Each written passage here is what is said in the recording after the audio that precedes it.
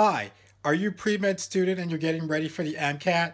Not sure how you're going to get a top score? Well, this video is just for you. Pay attention because I'm going to dispel the biggest myth that's standing in your, in your way of getting a top MCAT score. Do you want to know what most pre-med students do that gets them into trouble on the MCAT? They memorize.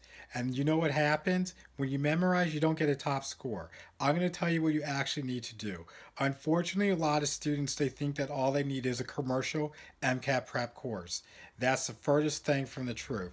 Those courses, they're great if you need a content review. Basically, you need to go over your basic sciences, you need to know your biochem, your orgo, your physics, all of that good stuff. That's great for that, but they don't teach you how to actually excel on the MCAT. I'm going to share with you how to excel on the MCAT because I teach you how to think like a doctor. Unfortunately, you're going into MCAT thinking what worked in your pre-med classes is going to work on the MCAT. That doesn't work because the MCAT is not a test of memorization.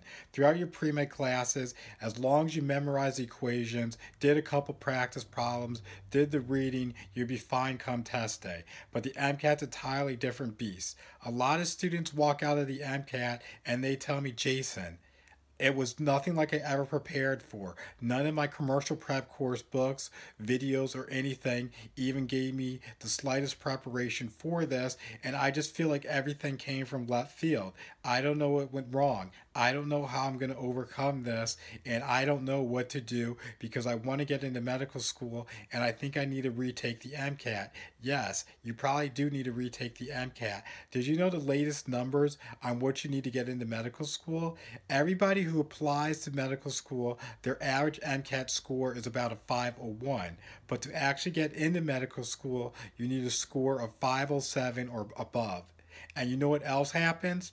Over 44% of people who apply to medical school, they apply with MCAT numbers are below average. They think that maybe the AdCom is going to take pity on them or overlook their numbers and give them a chance. This is not what happens when you're applying to medical school. You have to realize nowadays AdComs use computers to screen applicants. They're going to screen you based on the minimum cutoff score that they're looking for in your MCAT. So if you don't have that number, you're not going to get you're not going to get past a computer and no human's ever going to read your application to know what potential promise that you wrote about in your personal statement or whatever letters of recommendation you have vouching for you or your extracurricular activities. That's all going to mean nothing. So the MCAT is extremely important. It's the number one factor determining whether you're going to get into medical school or not. And if you want to realize how you can start thinking like a doctor, then come follow me, Jason with drpremed.com,